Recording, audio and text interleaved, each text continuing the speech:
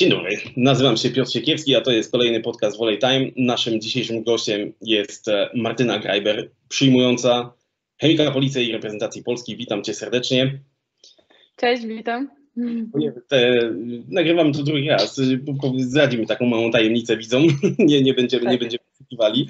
E, no, z, uwagi na to, z uwagi na to, że ja nie wypowiadam literki R, postaram się nie mówić per Martyna, tylko per Malina. I jeżeli e, pozwolisz, e, część z naszych widzów na pewno już to wie, a skąd wziął się ten przydomek? Czy byłabyś łaskawa powiedzieć?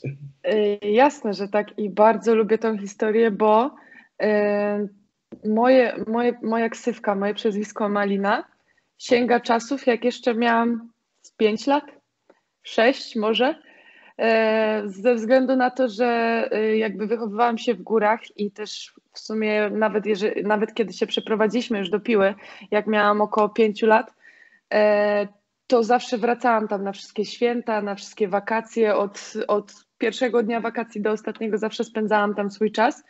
E, no i miałam tam mnóstwo kuzynostwa, takich wspaniałych ludzi, których do teraz mamy super kontakt. I ja byłam no, jedną z najmłodszych tych właśnie latających po podwórku. I zawsze trzymałam się bardzo mocno z moimi kuzynkami. Jedna miała ksywkę jabłko, ja malina, ze względu na to, że zawsze jak trochę e, pobiegałam dłużej, to zawsze się robiłam taka czerwona na buzi i, i właśnie wymyślili to moi kuzynowie e, którzy po prostu okrzyknęli nas, że zawsze chodziliśmy w sumie tak parami z kuzynkami, to ja byłam malina, ona jabłko i tak, okay. tak, tak to mniej więcej było. Ja, ja przyznam szczerze, że przy, przy bieganiu i przy zabawach y, też robię się czerwony, ale koledzy na mnie wołają zawał, nie wiem dlaczego. E, dobra, e, Malina, 11 września miałyście grać e, mecz z dewelopersem mm, Sky z Rzeszów.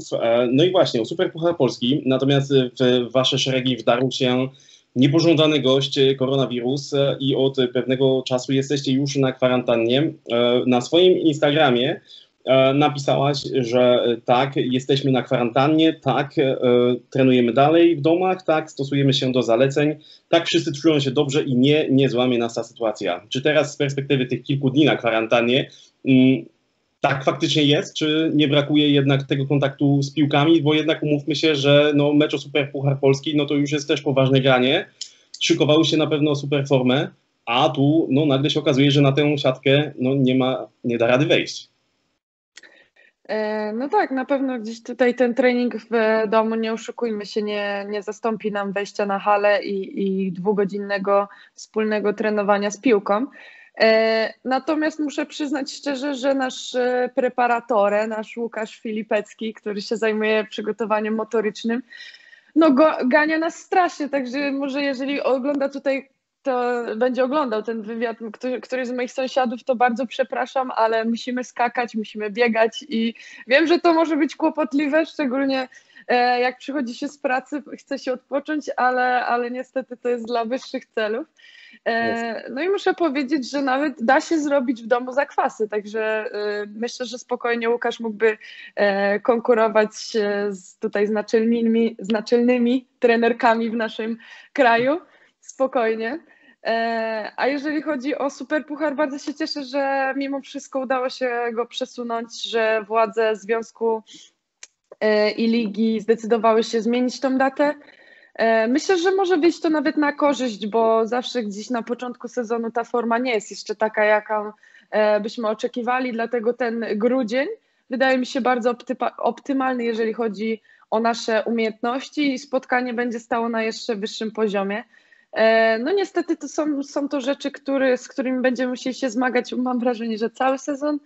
E, I myślę, że jeszcze nie, nie jedną niestety drużynę to spotka. U nas, u nas tak naprawdę to był po prostu niefart, bo, bo tak, jak, tak jak pisałam zresztą, zresztą na, na Instagramie, e, wszyscy bardzo dobrze się czują, nikt nie podejrzewał, że, że może być taka sytuacja i, i wynik jednej z nas będzie pozytywny, dlatego na pewno to był dla nas, to było duże zaskoczenie.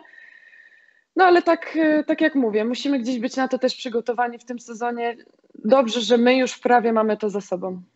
Mm. No właśnie, no nie życzymy nikogo mu oczywiście, no ale jest, że trzeba to trzeba, to brać, trzeba to brać pod uwagę. Myślę, A... że każdy, każdy klub gdzieś powinien sobie to wkalkulować i, i, i brać to naprawdę na poważnie, bo, no bo sytuacja się zmienia z dnia na dzień, przepisy wchodzą też różne, nowe i, i tak dalej, także lepiej być ostrożnym w tą stronę. Z tego, co się orientuję, to y, główny inspektor sanitarny też już jest po rozmowie z władzami ligi, które mają przygotować plan e, działania w przypadku, kiedy mm, ten nieszczęsny koronawirus pojawi się w jakimś zespole. Jaka była wasza pierwsza reakcja? Czy to było jednak ok, damy radę, czy jednak było tam momenty, elementy strachu, wystraszyłyście się? Jak to wyglądało z perspektywy pani kapitan? Szczerze mówiąc, e, przez długi czas też jeszcze miałyśmy nadzieję, że, że może uda się jakoś inaczej z tego wybrnąć na zasadzie takiej, że, że wiele dziewczyn miało, no, bo tak naprawdę tylko jeden był wynik pozytywny, także e, reszta dziewczyn gdzieś miała wyniki negatywne. Myślałyśmy, że może uda się tak jak e, co się dowiedziałyśmy później, dopiero ta zasada ma wejść, że w takim przypadku ta jedna dziewczyna jest eliminowana z trenowania, z rozgrywek jako kontuzjowana, jest tak wpisywana, y, natomiast reszta może dalej kontynuować treningi. Niestety nie udało się tego jeszcze zrobić, bo spóźniliśmy się o parę dni tak naprawdę, jeżeli chodzi o te przepisy. E, także gdzieś tam z dnia na dzień żyliśmy jakimiś takimi nowymi może mm, nadziejami, że, że, że się uda coś skrócić, może, e, może zmienią się jakieś przepisy, natomiast gdzieś tam już dwa dni temu dostaliśmy taką oficjalną informację, że, że i puchar zostanie przełożony i też, e, i też my będziemy musiały zostać do końca kwarantanny, dlatego Powiem szczerze, że jakiegoś większego strachu nie czułam. Może przez to, że gdzieś tam te pierwsze dni nie zastanawiałam się nad jakby dłuższym pobytem w domu, tylko, tylko tak z dnia na dzień gdzieś starałam się e, żyć tą nadzieją, że może, może coś tam się uda. Zresztą e, władze naszego klubu też w porozumieniu z ligą bardzo mocno działały w tym kierunku, żeby gdzieś to sprecyzować, żeby, e, żeby może nawet udało się zagrać ten super puchar. Myślę, że wszystkim na tym zależało. E, no natomiast no, no jak gdzieś już teraz w poniedziałek, we wtorek e, poszły oficjalne informacje, no to um, też gdzieś tam troszkę się już też oswoiłyśmy z tą informacją. E, przyzwyczaiłyśmy do takiego trybu trenowania w domu. I myślę, że te treningi, które nam zgotował nasz, nasz preparator, gdzieś nie wprowadzają e, żadnych obaw, jeżeli chodzi o naszą formę fizyczną. Na pewno trzeba będzie poczuć piłkę. E, no to będę mamy, każda w piłkę ma w domu i nie ukrywam, że czasami o ścianę się odbija. Także za to też przepraszam sąsiadów. Także myślę, że, że te najbliższe dni, które będziemy miały do, e, do pierwszego meczu, będą, będą ukierunkowane jak, na jak największą ilość odbić tej piłki, żeby na nowo poczuć to, e, to granie i, i gdzieś też na zgranie siebie znowu, ale ostatecznie uważam, że um, aż tak źle to na nas nie wpłynie. E, czy wasz trener, e, Ferhat Agbas, kontroluje was, czy raczej trener od przygotowania fizycznego bacznym okiem przez lubkę naszej kamerki dogląda do was? Jak to, jak to wygląda? Nie wiem, muszę powiedzieć, że bardzo profesjonalnie się jakby organizujemy nawet w takich sytuacjach e, jak ta, która teraz nas spotkała. Codziennie mamy wyznaczane godziny treningów, e, codziennie jest monitorowane nasze samopoczucie e, już nie odnośnie samego, samego wirusa, bo, bo to jest jakby inny temat, ale od początku sezonu też jest tam nasze monitorowane jakby zdrowie, samopoczucie. Mamy taką codziennie rano do wypełnienia listę, od 1 do, do 5 musimy e, dawać odpowiedzi, jak się czujemy, e, czy mamy jakieś zakwasy i tak dalej, i tak dalej. I jest to prowadzone od początku i teraz w momencie, kiedy jesteśmy w domach, tak naprawdę no można powiedzieć, że, że wszystko powinno być ekstra, bo, bo tak naprawdę trenujemy tylko w domu, odpoczywamy głównie, to mimo wszystko nadal są te e, ankiety prowadzone. Wszyscy trenerzy, wszyscy członkowie sztabu na każdym treningu są obecni. Spotykamy się pełną 13 plus 2, prawie, nie no, pełnym, pełnym w ogóle składem, łącznie z obydwoma fizjoterapeutami. E, codziennie są spotkania na, na Zoomie, także e, wszyscy oglądają te treningi, wszyscy są razem z nami i pomimo tego, że prowadzi to właśnie trener przygotowania fizycznego, to e, cały sztab szkoleniowy jest również z nami na tych treningach. Okej, okay, w porządku. A y, y, myślę, że to będzie dosyć zaskakujące pytanie. Ja już to prawda znam odpowiedź, ale nasi widzowie najprawdopodobniej nie. Jak to jest z jedzeniem na kwarantannie, skoro nie możesz wyjść z domu? Ktoś ci je dostarcza na pewno. Tak. Na szczęście reszta jakby pracowników klubu i właśnie tutaj niedawno też e, menadżer klubu e, bardzo nam pomagają w tych ciężkich czasach i, i dostarczają jedzonko pod drzwi, także na pewno Radek Anioł tutaj stoi na wysokości zadania, tak samo e, nasz marketingowiec Rafał. Oprócz tego sam prezes się też deklarował z pomocą w razie, w razie potrzeby, także Także cały klub e, stoi na wysokości zadania i, i myślę, że e, każdy w tym, w tym dla nas ciężko dziesięciodniowym okresie swoją e, pracę wykonuje na 100%. Myślę, że macie jakąś grupę, jak nie na WhatsAppie, to Messengerze, na pewno komunikujecie się wewnątrz drużyny. czy możesz zdradzić trochę szczegółów, jak, jak, jak nastroje w drużynie, czy raczej wróci, wróci, wrócicie silniejsze, czy jednak zdarzają się takie sytuacje, już oczywiście bez nazwisk, że jednak gdzieś tam no, trochę ten performance to jest, jest, troszeczkę, jest troszeczkę niższy? Nie, ja mam wrażenie, że dziewczyny są e, na tyle jakby znowu głodne siatkówki i na tyle też troszkę podburzone tą sytuacją e, i tym oczekiwaniem, że, że może to wyjść jeszcze na, na lepsze i, i nastąpi mobilizacja maksymalna, bo każdy gdzieś będzie miał z tyłu głowy, że słuchajcie, inni są 10 dni przed nami, tak jakby, nie? Teraz musimy dwa razy ciężej pracować, żeby im dorównać, a później dwa razy ciężej pracować, żeby jeszcze być przed nimi, bo, bo to jest cel e, chemika na ten sezon. Także mamy fajne charaktery w zespole, które właśnie, myślę, podejdą w ten sposób do tego, e, a nie, a nie w drugą stronę, sorry. Także, także o to się jakby nie martwię.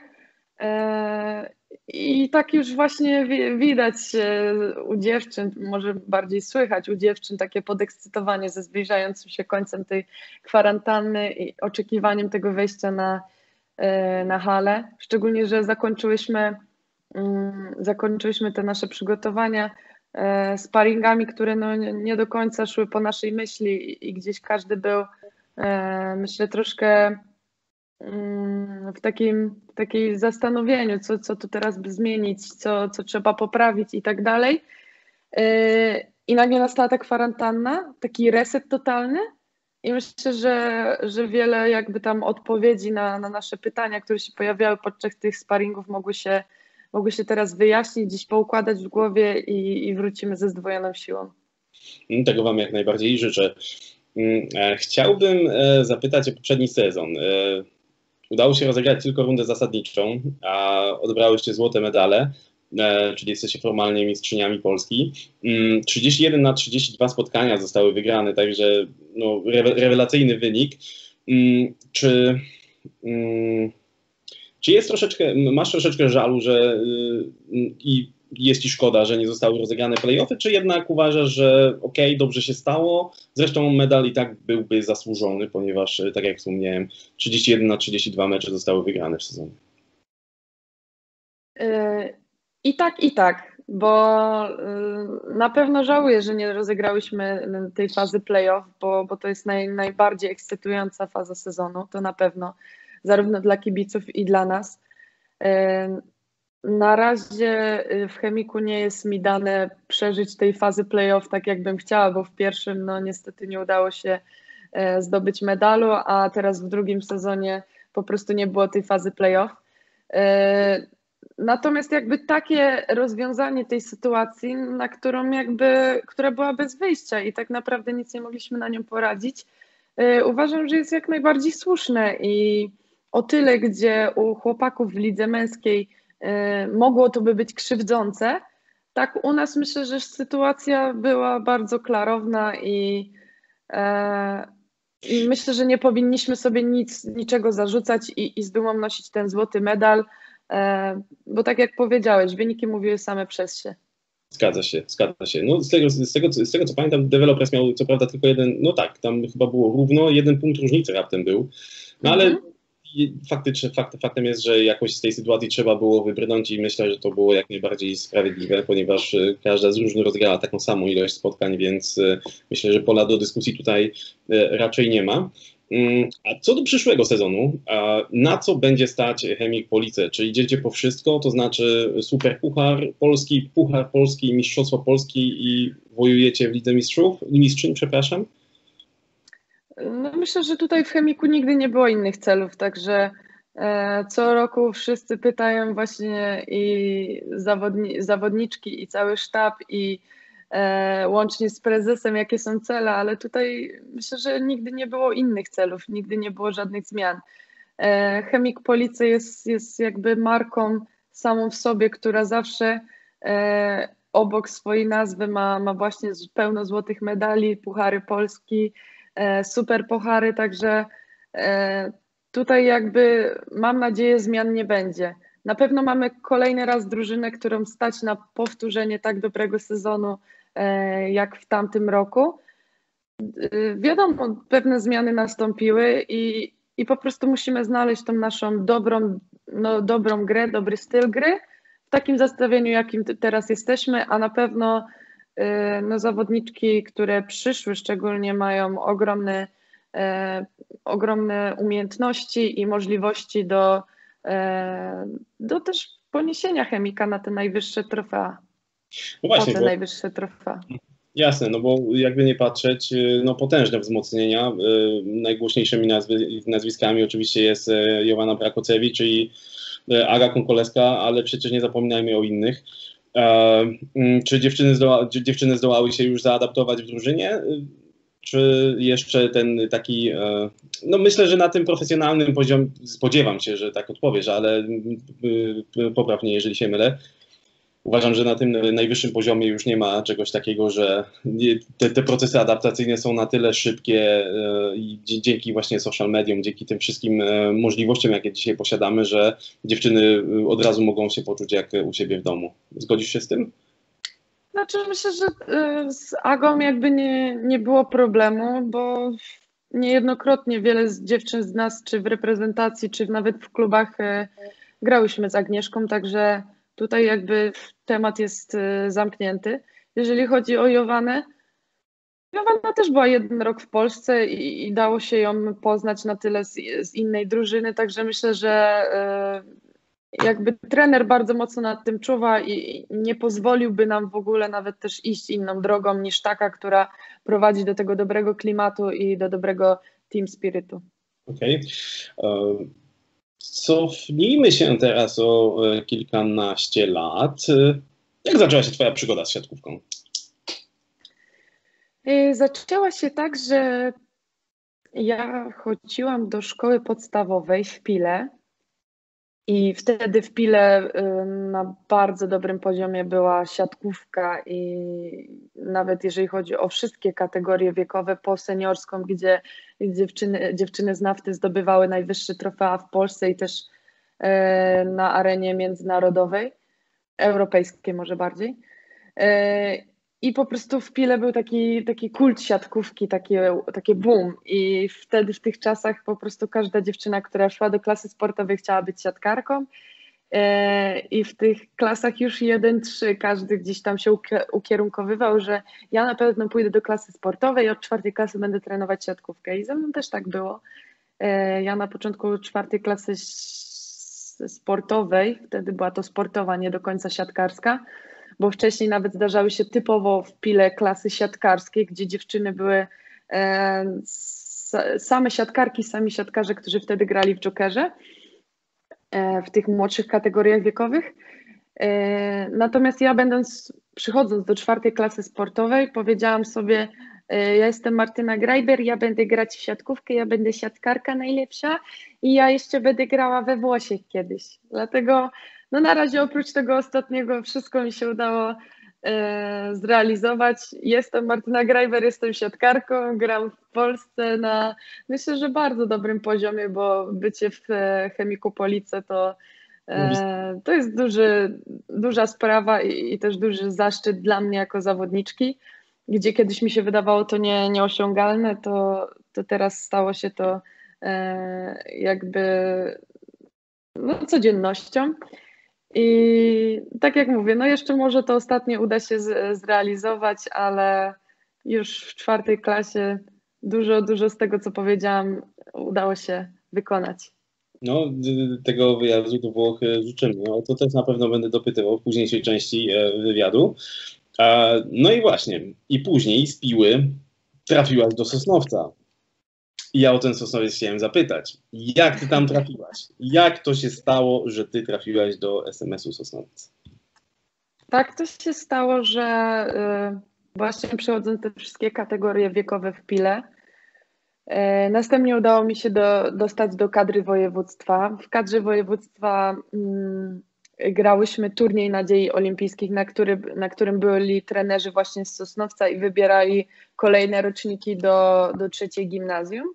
No i tam już trenerzy mnie zauważyli, postanowili mnie, mi dać powołanie do właśnie do szkoły mistrzostwa sportowego.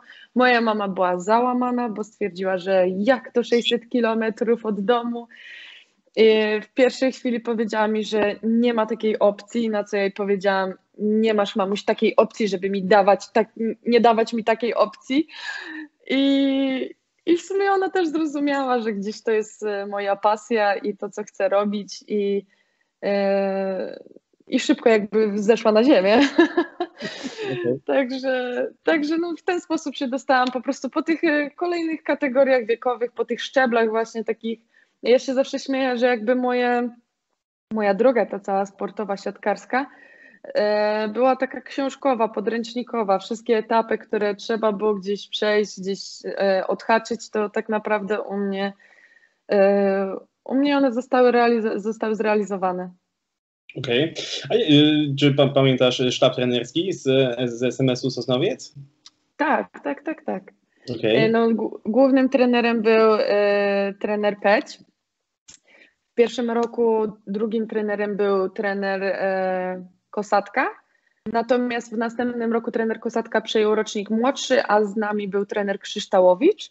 Fizjoterapeutą był y, trener Banaś, Banaś, tak. Tak, no i, i w sumie tak wyglądał nasz sztab. Mm. Trenera Tadeusza pozdrawiamy serdecznie. Miałem też przyjemność trenować przez chwilę, w, mając no, 12-13 lat, czyli y, no, to było już ponad, no, prawie dekadę temu. Dwie, rany boskie, dwie dekady. Ja już mam 32 lata, przepraszam. demencja starczo mnie dopada powoli. E, tak, także serdecznie pozdrawiam. Super, super profesjonalista i bardzo, bardzo przyjemnie wspominam e, trening, treningi z nim. A jak ty w ogóle wspominasz te trzy lata e, na Milowicach, w, Zagłębiu?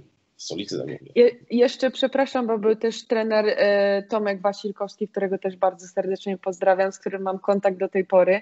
Fantastyczny człowiek. E, no i też trener Widera, który, z którym również się spotykamy na parkietach, także wszystkich ich pozdrawiam. To tak jeszcze, żebym nie, nie chciałabym nikogo ominąć. Tak, e, ale najbardziej do pozdrowień. Tomek zresztą był naszym gościem też przy, no, trzy tygodnie temu, jeżeli dobrze pamiętam. Także też serdecznie pozdrawiam. Jeżeli chodzi o to, jak wspominam, to, to wtedy wydawało mi się, że jejku, jak tylko skończę ten SMS, to będzie najpiękniejszy czas w moim życiu, że już, że już chciałabym być tak o bliżej rodziny, tak bardziej wolna i tak dalej, i tak dalej. No, zresztą to są takie nastoletnie chyba e, przemyślenia u każdego, niezależnie gdzie by, gdzie by nie był, w jakiej szkole by nie był. Tak. E, no ale gdzieś tam w tym Sosnowcu to, to było spotęgowane ze względu na to, że byliśmy w 30 parę dziewczyn zamknięte w jednej, w jednej szkole, w jednym budynku i, i czasami się w ciągu tygodnia nawet na chwilę nie wychodziło na zewnątrz, także, no. e, także można było to odczuć, gdzieś te właśnie takie buntownicze, młodzieńcze zawahania. E, natomiast teraz jak sobie tak przeanalizuję, to, to tak naprawdę w większości pamiętam tylko te dobre rzeczy, te, te wszystkie głupoty, jakie razem odwalałyśmy w tym Sosnowcu, bo trzeba powiedzieć, że jeszcze trafiłam na takie, taki fajny rocznik, tak fajne dziewczyny, e, z którymi do tej pory mam bardzo dobry kontakt. E, wiele z nich, e, wiele przyjaźni się utrzymało do tej pory. Z dziewczynami mamy kontakt, mam, odwiedzamy się. Już w tym momencie zaczynamy jeździć do siebie na wesela, być świadkowymi i tak dalej. Także, no także tak na pewno, na pewno to był czas na plus, skoro e, tak wartościowe znajomości mogły przetrwać do tej chwili, to trzeba, trzeba powiedzieć, że, że to był dobry czas, dobry czas. Gdzieś, gdzieś, gdzieś przeczytałem, że y, znajomości, które utrzymują się powyżej 7 lat, zostają tak naprawdę mm -hmm. już na całe życie. Ja się z tym y, jak najbardziej zgodzę i też dzięki siatkówce, no w zasadzie 90% towarzystwa, w jakim się obracam, jest y, właśnie z E, spod znaku zodiaku siatkówki. Wszyscy są gdzieś tam mniej lub bardziej związani z piłką siatkową, także no to, jest, to, jest rewelacja, to jest rewelacja naprawdę. I ten Dokładnie. świat cudowny, bo on e, jest tak otwarty też właśnie na, e, no, na, na wszystkich, że to no, aż mordka się cieszy, jak tylko człowiek pomyśli o, o tych wszystkich ludziach. E, no właśnie, a chci, chci, dopytać cię chciałem, bo o, tych, o te wszystkie głupoty, co, co, co, tam się działo? Uciekałyście przez okno? Coś, jakieś takie na, na miacho się wychodziło? O, chodziłaś do farmakonu? Kojarzysz jest? Eee, ja wyjątkowo byłam w czasach SMS-u zupełnie inna niż wszyscy mnie postrzegają. Ja byłam tylko sfokusowana na siatkówce i grzecznie nie uciekałam z SMS-u jako jedna z niewielu, ale tak, zdarzały się takie historie, dziewczyny. Jak, e... I strzelasz z ucha teraz, bardzo nieładnie. nie, akurat to grono, które, które ja miałam w klasie raczej było z tych spokojniejszych, mam wrażenie. Natomiast my tak we własnym gronie więcej takich e, głupot odwalałyśmy. Mamy takie niezliczone zdjęcia, gdzie jesteśmy zakopane po prostu po w pokoju, jest po prostu Armagedon, jakby wybuchła bomba i pani, która w końcu nas ukarała i kazała nam wszystko to posprzątać i my takie smutne, siedzące na podłodze, zwijające skarpetki, także, także takich historii było pełne, jakieś no i takie właśnie też fajne, kreatywne towarzystwo, że wtedy to były takie czasy, że, że się coś wymyślało takiego, że kreatywnego, żeby się czymś zająć, żeby zrobić coś innego niż siatkówka i szkoła. Także jakieś. E, także, także jakieś takie zawsze, czy konkurencje, czy jakiś mini playback show, gdzie trzeba było. E, czy gdzie trzeba było występować, no wszystko, wszystko. Okej, okay, no właśnie, bo ty jesteś rozśpiewana i roztańczona. Yy, I właśnie, a ty, co, co śpiewałyście? No bo to były lata, przełom 2000-2003, jeżeli dobrze. Nie, 2010-2013, przepraszam. Czyli co wtedy było na tym mini playback show takim sztosem. Ja, ja pamiętam swoją piosenkę, którą dostałam, bo zawsze było tak, że mini playback show był organizowany przez rocznik starszy i świeżaki, które przychodziły, oczywiście musiały występować. I tak, takie ty, typowo tam zabawa, żeby dognieść świeżaków, nie? Natomiast ja się muszę pochwalić, że wygrałam ten mini playback show, a moim utworem był e, Justin Bieber Baby. Tak. Także przebrałam się za Justina wow. Biebera i zaśpiewałam tą piosenkę, zrobiłam właśnie show i dziewczyny starsze przyznały mi nagrodę za pierwsze miejsce, także... Czy są gdzieś y, ludzie, którzy posiadają to nagranie? E, wydaje mi się, że mo mogą tak, tacy ludzie być i to jest właśnie bardzo niebezpieczne. Bardzo niebezpieczne. To jest bardzo niebezpieczne, to właśnie szantażowanie e, zna, znanych i lubianych przez błędy przeszłości. Chociaż jakie tam błędy, to przecież to są oczywiście e, ja. Nie, ja bym bardzo z chęcią to zobaczyła w ogóle. Wiem, że na pewno ktoś to miał na komputerze, tylko minęło tyle lat, że, że prawdopodobnie ludzie wymienili już wszystkie swoje sprzęty elektroniczne i może po prostu to poszło.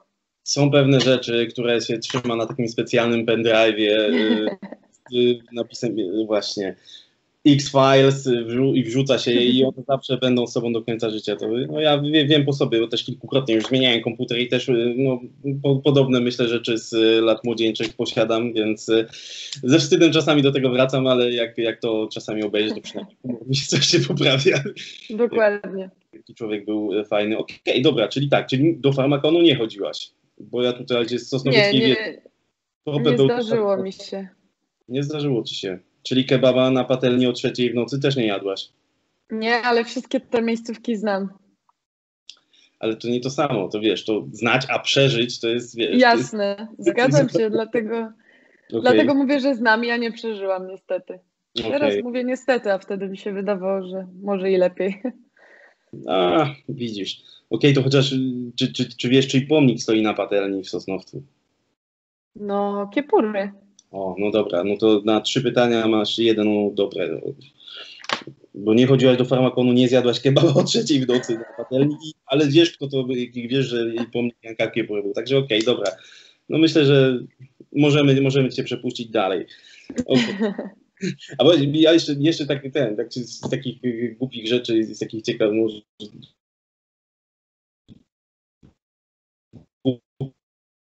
głupich, głupich ciekawostek.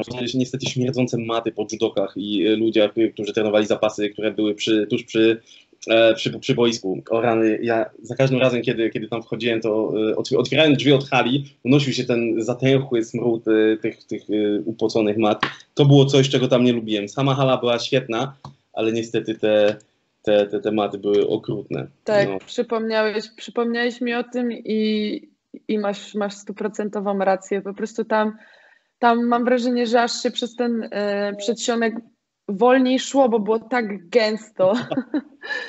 I, I naprawdę niejednokrotnie po prostu my tylko nabierałyśmy wdech przed, przebiegałyśmy i już na hali było bezpiecznie. No tak, no, Jackie, no to jest e, coś niemożliwego, przyznam, że nie życzę nikomu, żeby coś tak. takiego odbywać. E, okej, okay, dobra, idziemy dalej z Twoją e, karierą, bo z Sosnowca wylądowała się w budowlanych Łódź. Mm, tak. I tutaj zaczęło się już poważniejsze granie. E, I czy Twoim zdaniem, czy z perspektywy czasu oczywiście, czy dało się wtedy wyczuć taki przeskok z grania w, w SMS-ie, gdzie jednak było, była to no, gra jeszcze połączona z nauką. Oczywiście przy, pierwszym roku w, w Łodzi, z tego co się orientuję, jeszcze Ty byłaś w klasie maturalnej, jeżeli dobrze kojarzę. Tak. Także też się uczyłaś, ale czy dało się wyczuć jednak ten przeskok e, mm, sportowy? Był widoczny? Zdecydowanie, zdecydowanie, że tak. E, zdecydowanie tak. E, bo w szczególności jeżeli chodzi o fizykę i jakby nawet o samą siłę, mimo że to są kobiety i, i często ta gra jest bardziej techniczna, to przychodząc z SMS-u mając 17 lat do dziewczyn, które już były w lidze, Mam wrażenie, że dużą, du, dużą rolę odgrywała właśnie różnica e, w samej sile. I e, pomimo tego, iż dziewczyny, które, które były w Sosnowcu, już miały jakieś e, początki i, i w sumie już w kolejnych latach normalną siłownię, przygotowanie fizyczne, gdzie często w klubach rówieśnicy nie mają tego w tym samym czasie, to i tak była to, y, przychodząc do klubu, i tak była ta różnica, jeżeli chodzi o przygotowanie samomotoryczne. E, no i też duża taka nauka. Pierwszy sezon to e, wiem, że bardzo pamiętam, że bardzo byłam taka zniecierpliwiona, bo mówię, kurczę, nic nie gram, za dużo nie gram, tu mnie trener nie wpuszcza, tu mógł, a tu to, a tu tamto, ale tak jak mówię, teraz jak sobie przypomnę każdy mój etap gdzieś tam w czasie mojej kariery, powiedzmy, to, to wszystko to miało ręce i nogi i, i szło dobrym torem, wszystko po kolei, nigdzie nie było za szybko, nigdzie nie było za późno. Także e, teraz spoglądając właśnie z perspektywy czasu, to tak, tak miało być i dobrze, że tak było. No, ja tylko zadam takie nieśmiałe pytanie, dlaczego gdzieś tam w, w cudzysłów chciałaś ubrać tą karierę, e, powiedziałaś, kariera. E, myślę, że masz jak najbardziej karierę. Przecież grasz w najlepszym zespole w Polsce, jesteś reprezentantem Polski i myślę, że nie ma się tutaj czego wstydzić ani z czym ukrywać. No to jest, e, to jest jednak mm, gra na najwyższym poziomie, więc tutaj nie ma, myślę, że śmiało to jest kariera. To nie jest coś, i to nie mówię tego, broń Boże, żebyś nie odebrała tego, że dla jaj czy coś takiego, tylko jak, jak najbardziej tutaj nie ma się czego wstydzić. Myślę, że trzeba takie rzeczy podkreślać, bo, bo no, jednak jesteś w, tej kadrze, jesteś w kadrze narodowej, jesteś jedną z najlepszych polskich przyjmujących, więc e, tutaj nie ma powodów, broń Boże, do wstydu, ani żeby się gdzieś tam zachowawczo zachowywać, także, także myślę, że śmiało powinnaś to nazywać jak najbardziej karierą.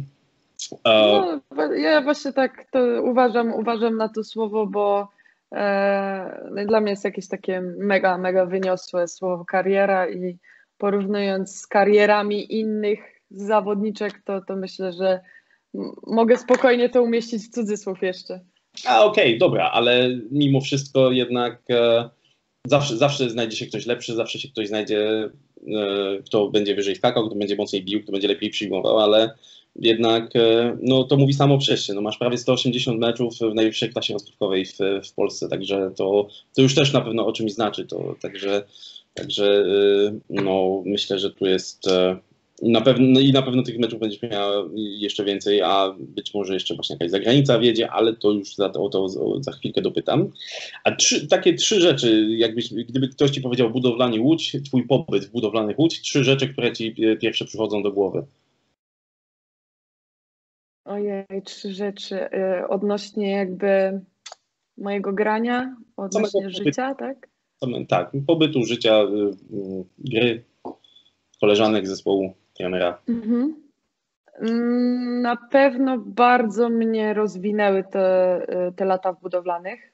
To był taki mój duży, duży skok i do przodu. Drugą taką rzeczą też bardzo fajnych ludzi poznałam, wiele znajomości, których mam do tej pory, yy, przyjaźni. Yy, także to też bardzo mocno tak pamiętam i Y, i tutaj można to zawrzeć. I trzecia taka rzecz, um, żeby się odnieść tak mniej więcej do wszystkiego. Tak, y, samo to, samo to życie w Łodzi i, i to miejsce, do którego tam przywykłam, e, po prostu dobrze mi się tam też żyło. Miałam takie swoje e, właśnie swoje tam miejsce, gdzie mieszkałam i, e, i nie ukrywam, miałam też dużo bliżej do, czy do narzeczonego, czy do rodziców, może nie w tym wypadku, bo tutaj jest, jest troszkę te, troszkę bliżej ze Szczecina, natomiast myślę, że jeżeli chodzi o, o podróże, to jest podobny czas, ale po prostu mi się tam dobrze też mieszkało. Okej. Okay. A czy była opcja, żebyś została dłużej w, w Łodzi? Oczywiście, że tak, oczywiście, że tak. Długo rozmawialiśmy też z prezesem z Łodzi e, w tym roku, kiedy zdecydowałam się odejść i, i nie ukrywam, że bardzo, bardzo długo się wahałam, bo, bo z jednej strony, tak jak powiedziałam, dużo mi, dużo mi dały te lata w Łodzi, rozwinęłam się tam, czułam duże przywiązanie do klubu, do kibiców, do tego miejsca, e, a z drugiej strony też gdzieś czułam, że, że potrzebuję jakiegoś kolejnego challenge, jakiegoś wyzwania, które znowu popchnie mnie do przodu. E, I trochę wrzucenia się też na jakąś, może nie tyle głębszą wodę, ale na inną wodę, żeby, żeby spróbować czegoś w innym otoczeniu. Zawsze gdzieś e, dla sportowca nie jest dobra taka strefa komfortu i, i ja gdzieś doszłam do momentu, gdzie w Łodzi właśnie miałam tą swoją strefę komfortu, bo, bo czułam się tam dobrze, znałam wszystkich, e, trenowałam dobrze też i, i jakby wszystko zaczynało być takie konstans u mnie. A myślę, że w życiu sportowca potrzeba coraz to nowych e, bodźców i, i, i wyzwań. E, I przede wszystkim takiego gonienia za, e, za czymś lepszym. Tutaj nie ukrywam w chemiku za, zawsze mam zawodniczki, które są e, o krok przede mną, do, od których mogę się uczyć, do których mogę dążyć. E, I zauważyłam na przestrzeni tych wielu lat, że najbardziej właśnie rozwijały mnie takie sezony, kiedy musiałam kogoś gonić, a nie kiedy to mnie goniono. Mm. Tak, no to, to, to, to, jest, e, to jest fajne, co powiedziałaś. I myślę, że myślę, że z perspektywy czasu, kiedy na to spojrzysz, to jest, była to jak najbardziej dobra decyzja strzał dziesiątkę. Bijesz się o najwyższe cele w Polsce, ale też i w, w Europie. E,